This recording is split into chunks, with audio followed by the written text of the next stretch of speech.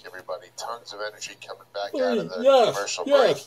yes, Got New Day yes. in the ring, and they're waiting on Oh, Bobby Lashley and MVP.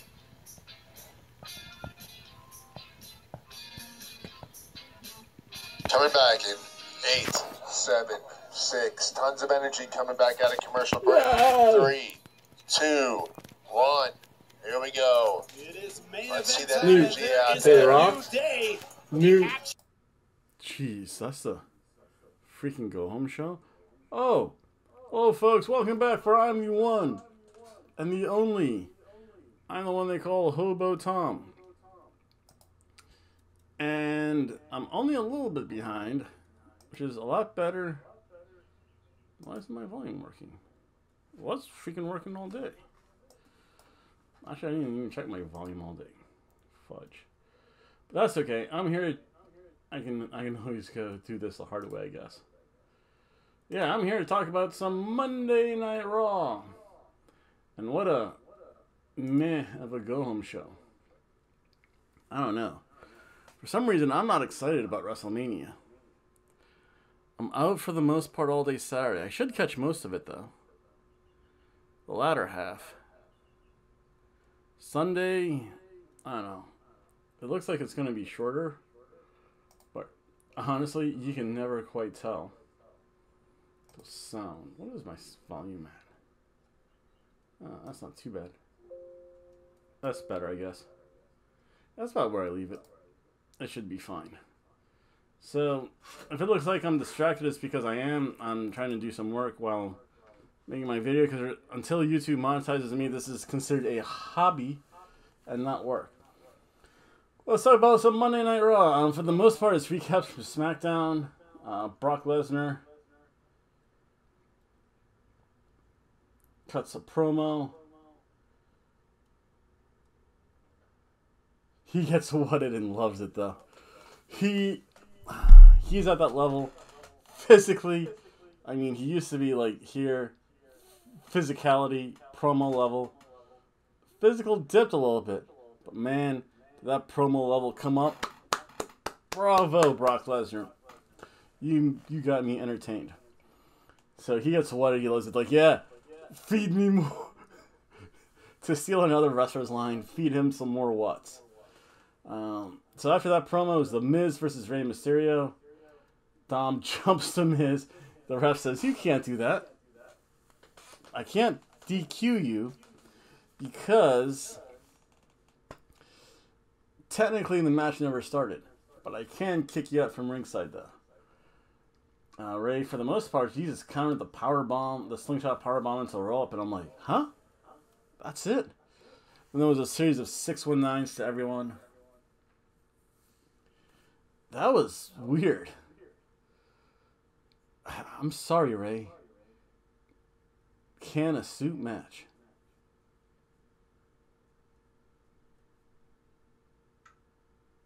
Do I want anyone to think? Oh no, not during this one. Yeah. The later show. Um, then we had the Seth promo. That ugly suit in Mr. McMahon's office just should, should have come tossed. Then we had the Viking Raiders versus Omos. Omos, Omos just no sells. Like the whole thing. Uh, he just has some clubbing blows. He wins by a count out victory. Like, whoa. We haven't seen a, a true count out in a while. This was a terrible match. They're burying the Viking Raiders. You know, it's one thing to have Jabberuni one and, and, and Jabber, Jabber Dos show up and lose to Omos. Like they did with Braun Strowman. Like, yeah. Where they would have like skinny 110 jobber one and and, and fat skinny 150 pound jobber number two get wrecked by Braun Strowman. This is different. This is the Viking Raiders. At one time they were tag team champions. Oh, how they've fallen. Can a suit match?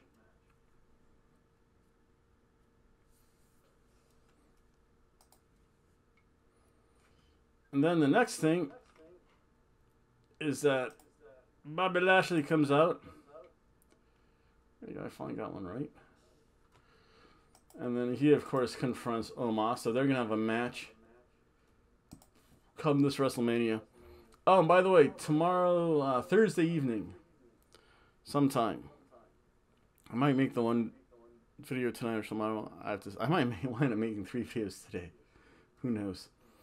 But yeah, um, Thursday evening though. Book it. What am I having for dinner Thursday? I have to think about that. I could do that. You know, I could do that. Uh, I have to. I have to think about stuff. It's never good making this brain work a little too hard there. Yeah. Um. Thursday, I'm definitely gonna do my predictions. I might include Stand and Deliver. It's gonna be both nights WrestleMania, and I might have a guest on. I don't know. We'll see. Uh, then we had uh, Reggie and Dana. Reginald, let me warn you. Wrestling engagements never go as planned. You definitely don't want a, a wedding, a wrestling wedding. And then Tamina and Tozawa, Tozawa tried to propose to me. To me, it's like, pff, whatever.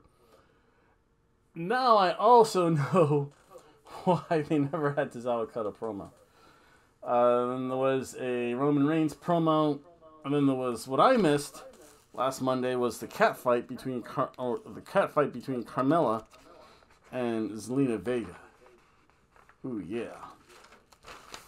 But that's gonna lead us to our next match, where's the women's eight eightsome, or an eight-woman tag team match, with the faces.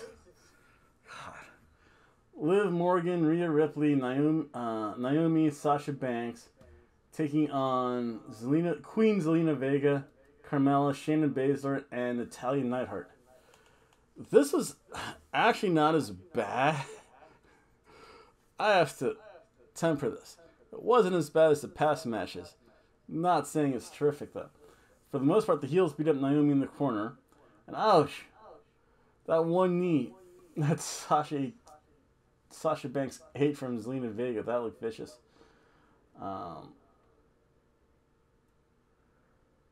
Carmella eventually gets in with the chops and the kicks a little bit. Shayna. Oh, it's so nice to see a little tribute to Biggie and the stretch muffler. That was good. Oh yeah, no, Carmella just goes chin lock mania.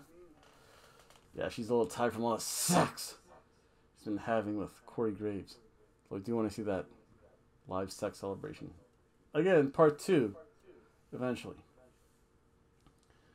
Uh, then they uh, Shayna and uh, Baszler hit the heart heart line, the heart attack. That's classic Hart Foundation move. Um, the heels fight amongst themselves for the pin, and while they're fighting amongst themselves, Rhea Ripley comes in, riptides. I forget who now. I, it's just like so much stuff going on. Liv Morgan got involved a little bit. Sasha Banks got. I don't think. I think Liv barely got involved. She got like knocked out of the ring. Live life, I guess. Yeah, for the most part, uh, Rhea Ripley won by Riptide. The faces, Liv, Rhea, Naomi, and Sasha Banks won. Was a better match. Was a ham sandwich of a match.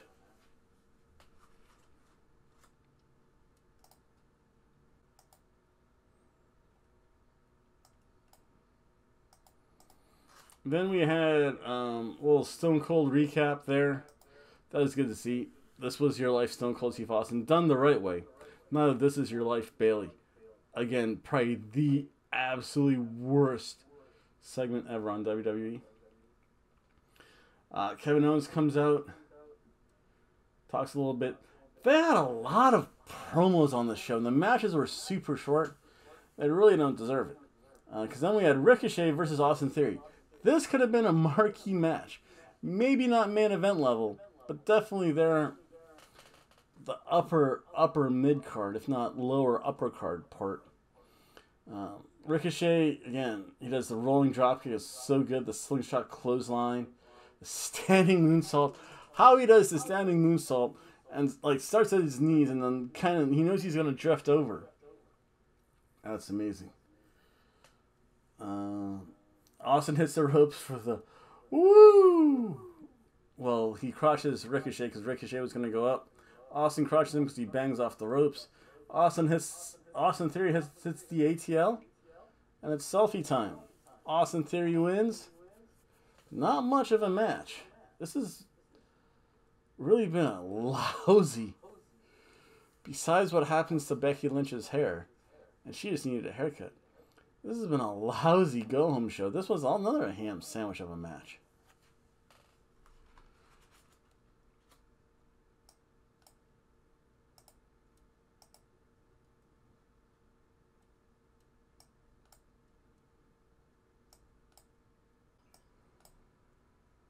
Why are they not showing me what a four looks like?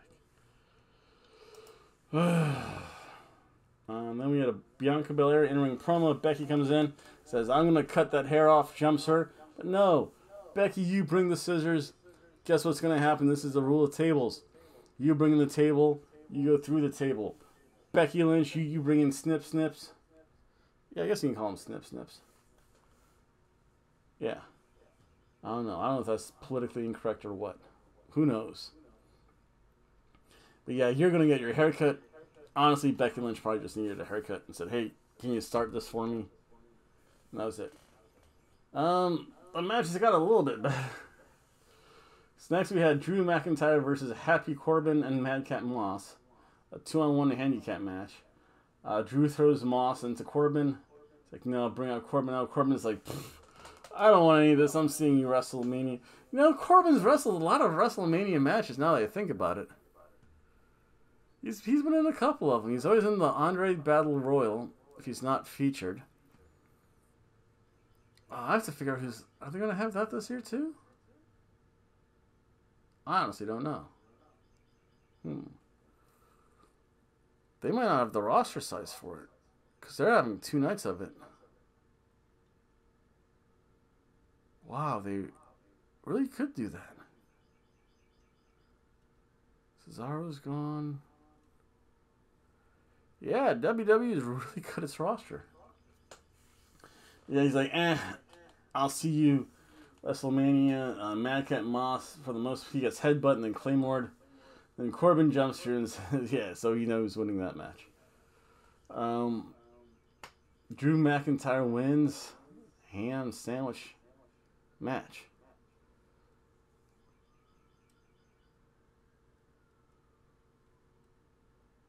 Then there was a Edge promo followed up by an AJ Styles promo. That's going to be a great match. That's gonna. That's why. That that match will justify why Ric Flair says AJ Styles is one of the best wrestlers out there. We have um Eric Bugenhausen. Bugen. Oh, but they have Danhausen. Oh, nice. Now I see why they changed it. Yeah, they could have Eric Boogs.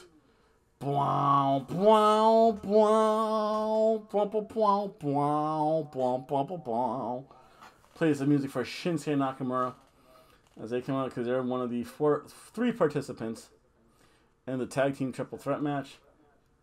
We'll see what happens. And we have a little preview of that though. The Usos versus RK Bro. I hear voices in my head. They counsel me. They understand, they talk to me. They understand. Um, yeah. Uh, Jimmy, he gets table dropped. They start brawling on the outside. Jimmy gets dropped on the table. Randy Orton's so good. At least he changes up. It's not. It's not. Randy Orton does use the same moves, but they're not the five moves of Doom, and you don't know they're coming. Shoulder tackle, shoulder tackle, back body drop. You can't see me. Triple uh, attitude adjustment. Five moves of doom. And, and you know he would call you like shoulder tackle. It's like hey, shoulder tackle, shoulder tackle, back body. You can't see this. AA. I, I you can hear it like throughout the arena. It's, it's horrible. And when that mic and that ring is mic'd up. But yeah, um and the Usos they they start they're still such a coherent tag team. Being twins helps, I'm sure. Uh, Matt Riddle then gets beat up in the heel corner. Uh, he gets thrown over the timekeeper area. I don't know. AEW has the best use of the timekeeper girl, though. Why do I think the timekeeper girl at one time was engaged to Sammy Guevara? And Sammy Guevara got Brazilianized. And then said, that's it. Brazilian women are evil. They're just evil. They break men. They use them, chew them out, spit them out. Worse than my cat does her feathery cat toys. That's how women use men in Brazil. Like a cat uses a feathery cat toy. I'll also write that down. Uh, the Usos, the backdrop neck breaker, that looked great though. This was the main event, and at least it looked and felt like a main event match too.